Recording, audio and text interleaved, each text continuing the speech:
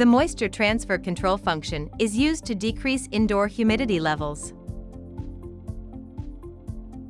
We will now demonstrate how the moisture transfer control function affects the operation of a SAVE unit.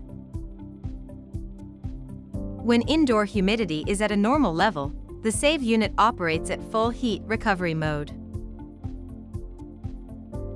When the indoor humidity level begins to rise, the speed of the heat exchanger lowers to reduce moisture transfer over the heat exchanger. Now, we will demonstrate how to adjust the moisture transfer function settings. Input your password to access the service menu. Then select Control Regulation, followed by Moisture Transfer Control. To enable moisture transfer control, toggle the status slider position to on. Then, adjust the moisture transfer control set point according to the user's needs.